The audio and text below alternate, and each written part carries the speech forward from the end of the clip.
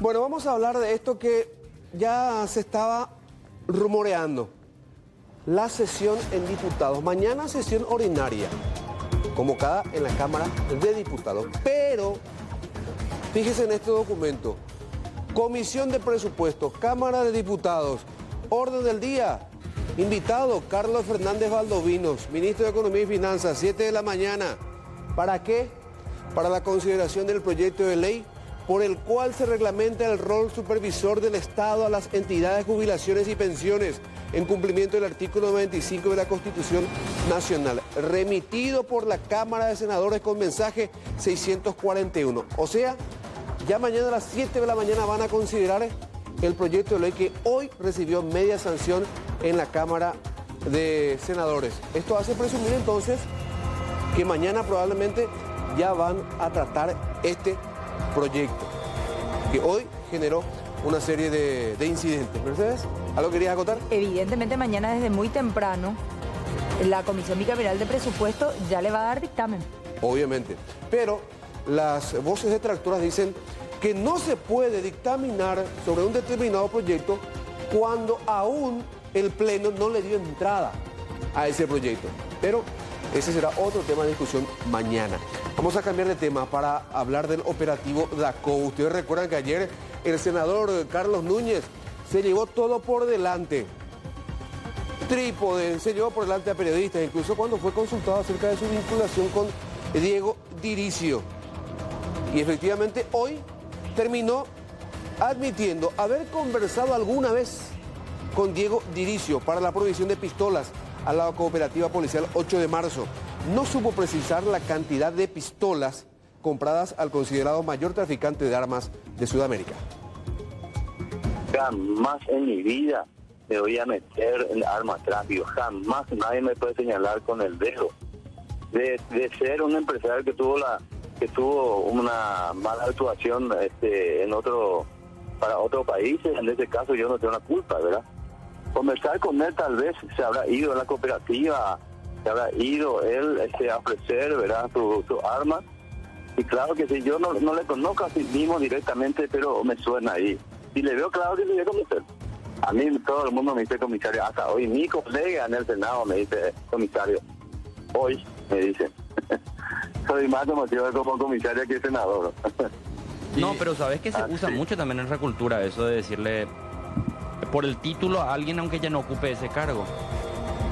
Y ojalá que vaya a dar nombre y apellido. Eh, lastimosamente, lastimosamente no es cierto lo que usted está diciendo. Hasta ahora me llaman comisario, no senador, dice Carlos Núñez, descartando entonces que sea la persona mencionada en esos audios que estuvimos eh, compartiendo. Bueno, también el ex senador Martín Arevalo, actual consejero de Yacireta, negó por intermedio de su abogado Jorge Ayala haber operado en favor de Diego Diricio.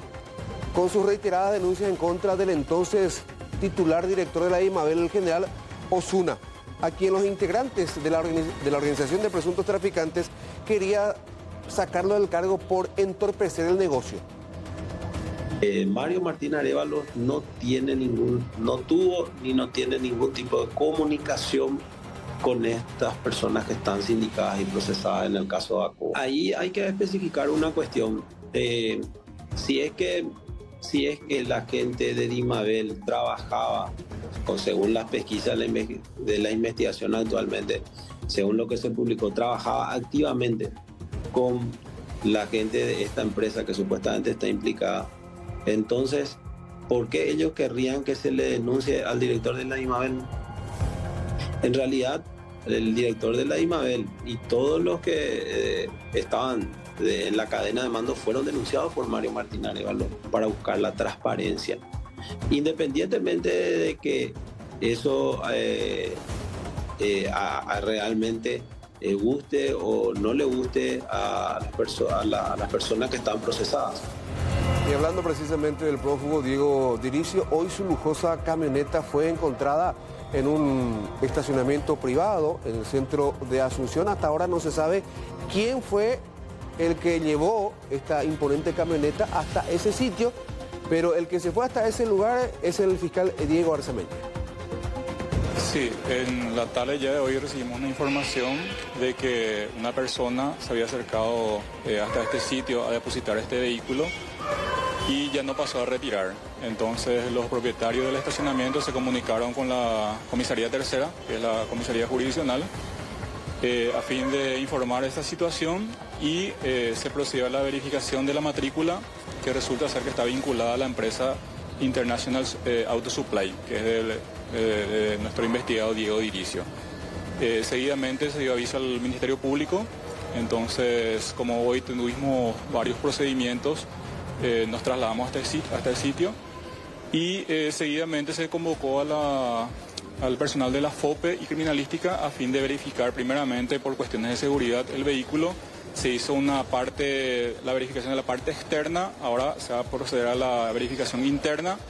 Luego eh, eh, paralelamente a esto estamos gestionando el secuestro del vehículo y una vez obtenida la resolución judicial estaríamos trasladando de este lugar. ¿Cuándo se habría dejado este vehículo aquí en el Estamos accediendo eh, a la grabación del circuito cerrado para ver exactamente la fecha, la hora y quién es la persona que dejó en este, en este lugar, ¿verdad? por qué medio llegó y por qué medio se retiró también. O sea, todos esos datos vamos a confirmar una vez que tengamos la información concreta de, parte de esta empresa.